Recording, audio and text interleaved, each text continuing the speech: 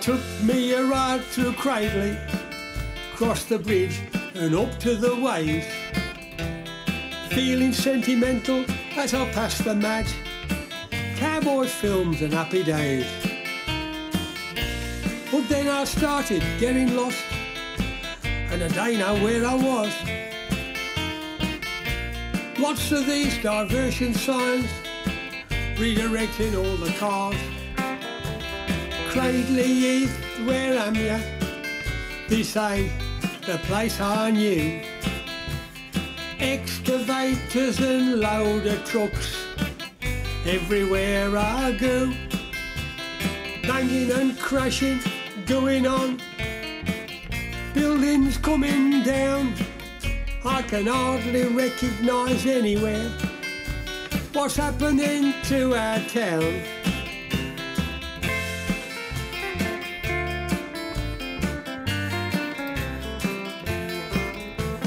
Somebody's nicked Fox Oak Street. There's a great big main road there. Fox Oak Garage on the corner.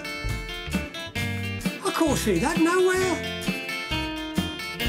Then gone and took the Liberal Club and the Sally Army somewhere.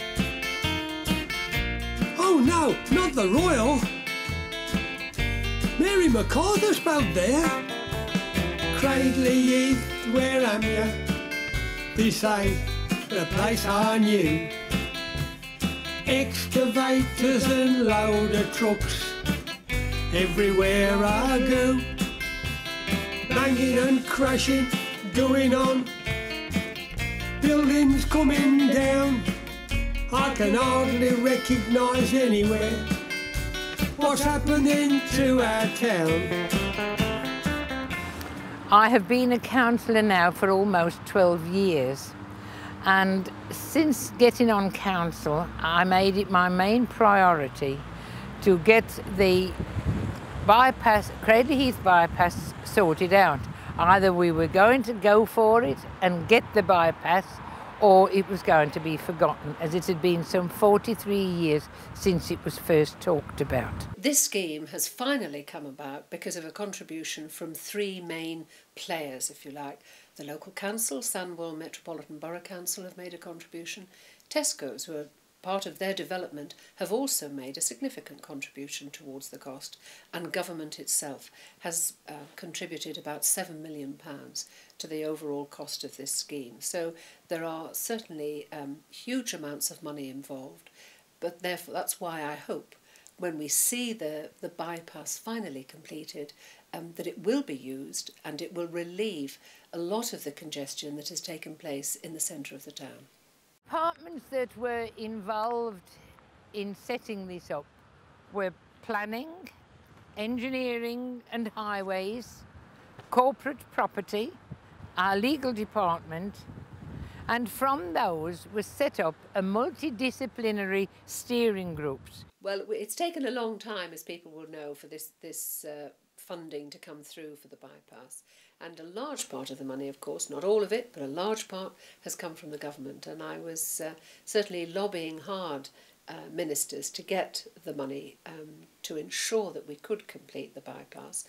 When we finally got it, I called the minister concerned my $7 million man because I was so delighted knowing that we'd got this extra money and it did enable a, a, what was, after all, a pipe dream for many, something that they've wanted to see and never thought perhaps in the end would actually happen. Construction of a bypass has been awarded to Birse Civils Limited and that sort of contract was awarded for 2.9 million. The overall scheme and regeneration of Cradley Heath itself is costing the Sandwell in the region of 11 million pounds. My name is Steve Haviland. I'm the site agent for Birse Civil Engineers. Um, We've been appointed to construct the bypass on behalf of Sandwell Metropolitan Borough Council. Um, our project is going to be running all the way through to spring um, 2007. Um, we've um, been on site now since the 14th of November. We've actually come into um, situations where we've had to move traffic around to accommodate the construction phases. And after we've actually set up the camp, we um, start the process of detailed programming of the construction phases. Um, in those phases, we've broken the project down into numerous sections.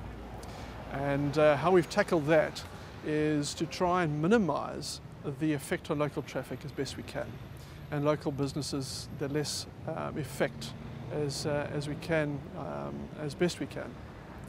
Um, we've broken the road down into the lower High Street area. We've got another section up at the directly behind me, which is the Fox Oak Street, and then Upper High Street, which is on the top end of the project where we tie in. As the bypass comes down to St Anne's Road, there was a five properties had to be demolished there as well. Some of the properties were taken were demolished by hand and taken to the Black Country Museum and to be re-erected up there. Also, as the bypass goes down to Lower High Street, you had the old Workers' Institute building and that building was taken down by the Black Country Museum and also re-erected again. What we've done now is we've removed all the material off site, most of the excavation offline works. As you can see behind us, there's an existing road and there's a new alignment. Um, and now the new alignment, we've taken the material off to specialist tips and we've built the bulk of um, the offline road at, as we, at, this time of the project. Uh, we've started building up the layer works, what we call layer works, to build this construction or the stability of the road. That started. All the drains have gone in. So a fair bit of the job has already been tackled um, and we're out of the uh, unforeseen ground conditions.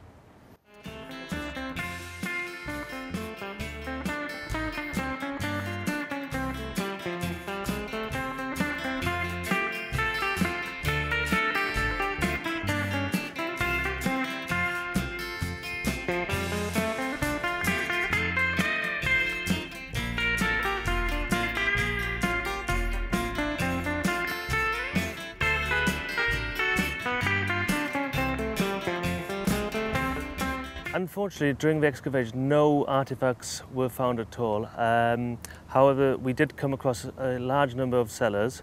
Uh, as you can imagine, all the old Victorian buildings and earlier buildings as well had cellars.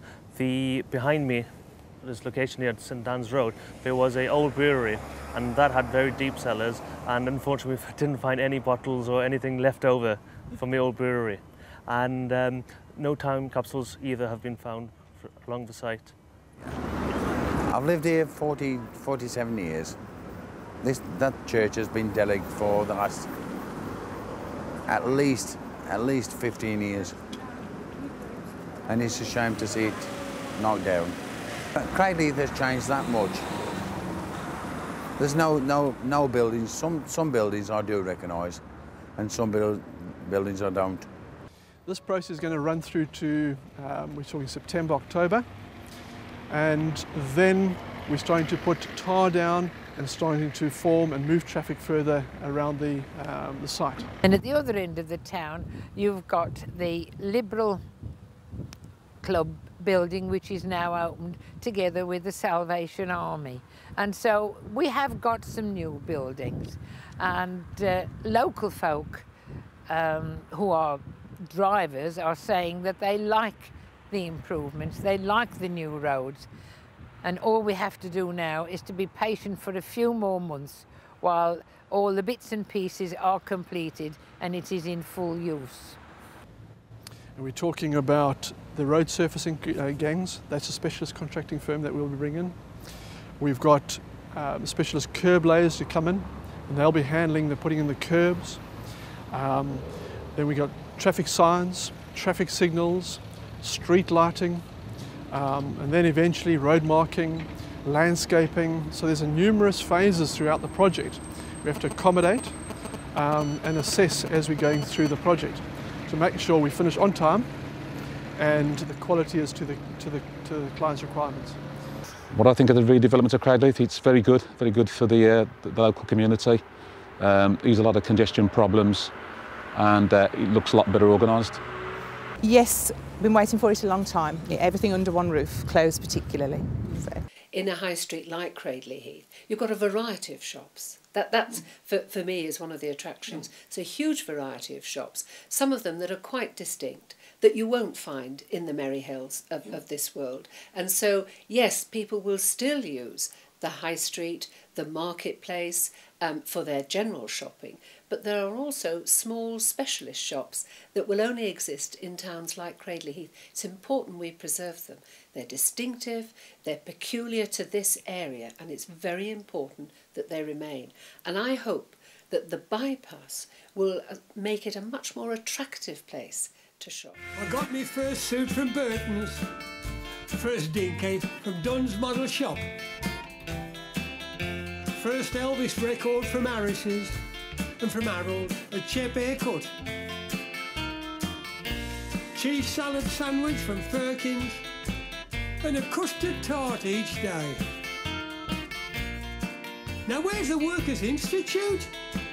They can't take that away. Cradley Heath, where am ya? This ain't the place I knew. Excavators and loader trucks everywhere I go. Banging and crashing, going on. Buildings coming down. I can hardly recognise anywhere what's happening to our town. Cradley Heath, where am ya? This ain't the place I knew. Excavators and loader trucks everywhere I go. Banging and crashing, going on. Buildings coming down. I can hardly recognise anywhere what's happening to our town. I'm fed up to the teeth, cause I can't find Cradley Heath.